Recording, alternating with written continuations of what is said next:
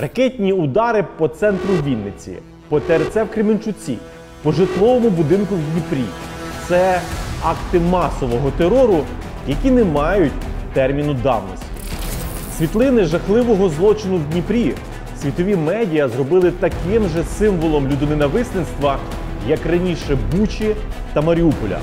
Від них стигне кров у жилах. Вони волають до неба про помсту. Але це якраз та ситуація, коли бити у відповідь по цивільних кварталах російських міст, як цього вимагають гарячі голови, найгірше, що могла б зробити Україна.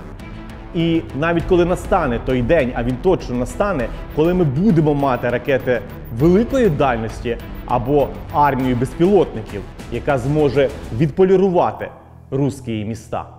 І не тільки тому, що не можна уподібнюватися варварам, і удари по російській цивільній інфраструктурі надщерблять нашу моральну перевагу у світі. І навіть не тому, що загарбницьку війну перетворять священною народною, до чого прагне Кремль. Не треба збільшувати його ресурс. Насправді ж головна пересторога зовсім в іншому. Ще ніколи масовий терор цивільних не спонукав до капітуляції, а якраз навпаки. Липку байдужість спочатку перетворював в гарячу лють, а потім пекучий гнів в сталеву затятість. Так сталося спочатку після кошмару в Бучі. Так маємо і зараз на екваторі ракетного терору України. 85% українців виступають проти будь-яких територіальних поступок Російської Федерації. Втім, це не Путін придумав вбивати мирних жителів, аби деморалізувати їхніх захисників. Так сталося тоді, коли змінилася сама концепція війни. До 19 століття війна була справою вузької касти. Короля чи папи, єпископів чи вельмож, і їм вистачало кількадесяттисячної професійної армії, аби з'ясувати свої внутрішні корпоративні стосунки. Той же час пересічному Гансу чи Франсуа було байдуже, хто його пограбує, і він не особливо опирався. Бо це були звичайні воєнні злочини, несистемні та випадкові, без ознак геноциду чи етноциду. А ось 19 століття це час народження націоналізмів, і вже не конфесія, яка могла бути однією ж тією від Амстердаму і до Лісабону, а то ж самість на основі крові, мови та кордонів визначала модерну націю. Війни перестали бути справою еліт, а стали загальнонародною. А отже, виникли масові партизанські рухи. Їх не могло бути без широкої підтримки населення, без того тилу, який забезпечує вся нація. І перший, хто додумався, що для перемоги потрібно зруйнувати цей тил, був геніальний Ото фон Бісмарк. Правда, з інструментом він помилився. Франко-прусська війна розпочалася 19 липня 1870-го, але фактично була виграна німцями вже 1 вересня в битві під Седаном, коли вдалося навіть взяти в полон імператора Наполеона III. Але потім війна продовжилася ще на рік, якраз через те, що набула народного характеру. Короткий термін новому уряду вдалося призвати понад 200 тисяч резервістів, а це додатково 11 корпусів. І що головне, ще 50 тисяч воювали в тилу німців, як франтінери, себто вільні стрілки. Навіть Джузепе Гарібальді сформував свій загін в горах Вогези. Це колосальна цифра. І щоб зламати цей масовий опір, Бісмак наказав розпочати такий же масовий терор. Виселяли цілими селами, брали заручників, вішали на площах міст. Кульмінацією цієї війни стала облога Парижа, найбільша в історії 19 століття, до якої було залучено 560 тисяч солдатів. Фон Бісмарк наполягав на бомбардуванні міста з важких гармат, але військові заперечили йому, зокрема, начальник генштабу фон Мольтке. Цей автор тактики Бліцкригу втім запропонував взяти Париж в тривалу облогу і заморити голодом, оскільки боявся, що масові вбивства цивільних викличуть ще більший опір і навіть втручання у війну якоїсь третьої країни. Його сценарій спрацював. Після п'яти місяців тотальної облоги в місті не було жодної собаки чи кота. Гарнізон таки капітулював. Але вже коли справа була майже вирішена на останньому місяці облоги, Бісмарк таки вирішив довести свою правоту. Щодня Париж обстрілювали одразу з 502 важких гармат. І хоча масові жертви парижан не мали жодного військового значення, майже через 100 років цю практику вирішив повторити Адольф Гітлер. 10 липня 1940 року почалися авіанальоти на Велику Британію. Фюрер Третього рейху вірив, що може розбити Англію без сухопутного вторгнення. Спочатку Люфтваффе бомбардувало конвої в Ла-Манші. І ми маємо аналогію з тим, як навесні РФ атакували залізничні колії, аби перерізати логістику військової допомоги. Потім орли Герінга почали бити по військовій промисловості, і знову маємо аналогію, як влітку російські ракети цілили в наші воєнні заводи та казарми.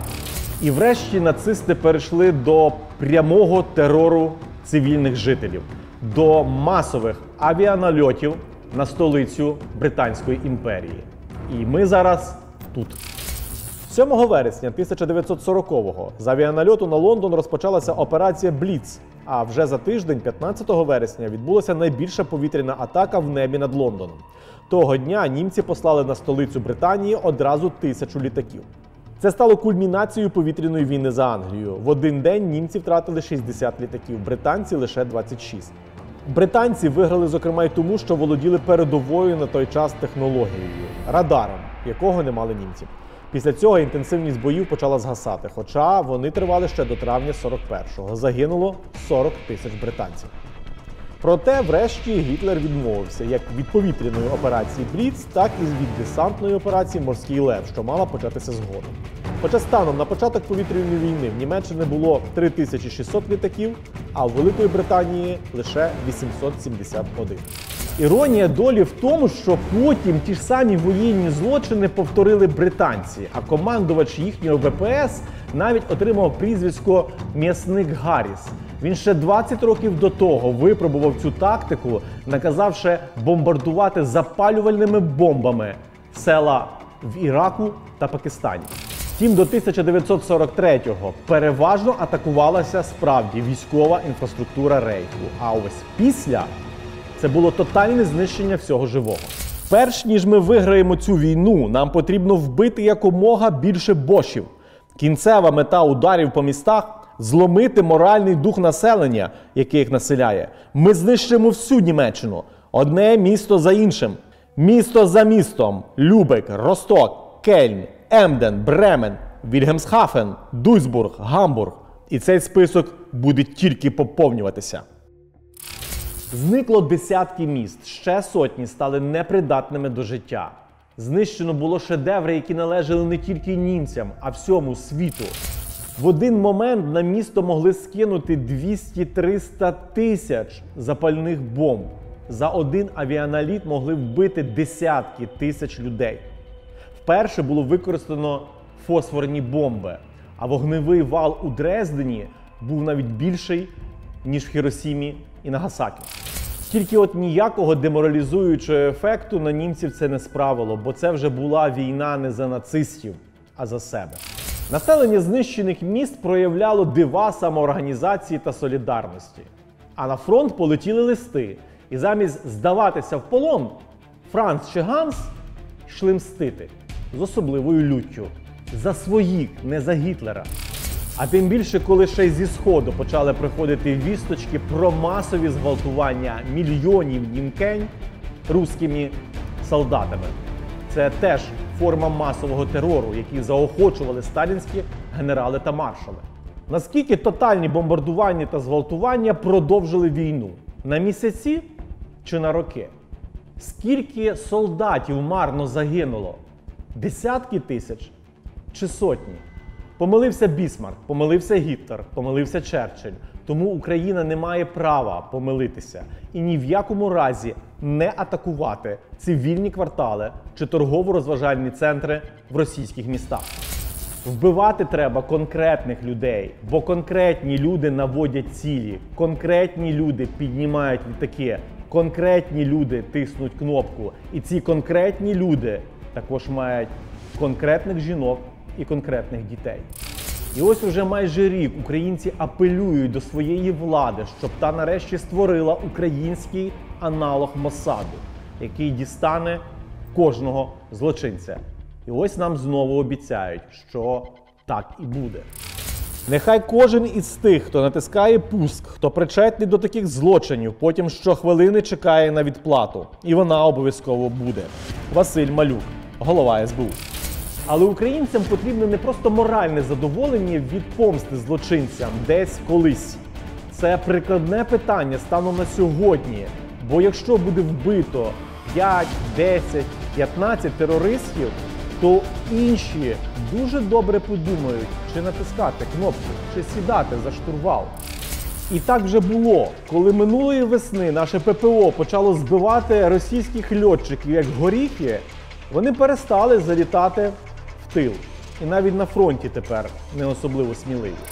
Такі висококваліфіковані терористи товар поштучний, і їх досить легко вивести з гри ударом кінжалу. А ось ударом довгої руки аеродром. Вже зараз ЗСУ це роблять, атакуючи не тільки Енгельс за тисячу кілометрів від України, а й Шайківку за 200 кілометрів від Кремля. І там паніка. Вже розгортають ППО не лише довкола Москви, а й в самому місті, зокрема біля Тімірязівської академії, на Сокільниках та Лосиному острові, на будівлі Міноборони та за 10 кілометрів від резиденції Путіна в Новоагарьова. Та що там, вже навіть на житлових будинках почали з Тетеринського провулку. А перед Новим роком навіть дирижаблі збиралися піднімати, як в Другу світову. Все чекали удару українських безпілотників. Британські аналітики переконані, що ЗСУ вже мають на озброєнні оригінальні моделі літальних апаратів з бойовою масою 75 кг та дальністю польоту 1000 км. На все це добро вже чекає ціле меню смачних цілей. Тож і без житлових кварталів маємо де розгулятися. Z-End буде яскравий. Ось Кремль до цього. А оце Кремль.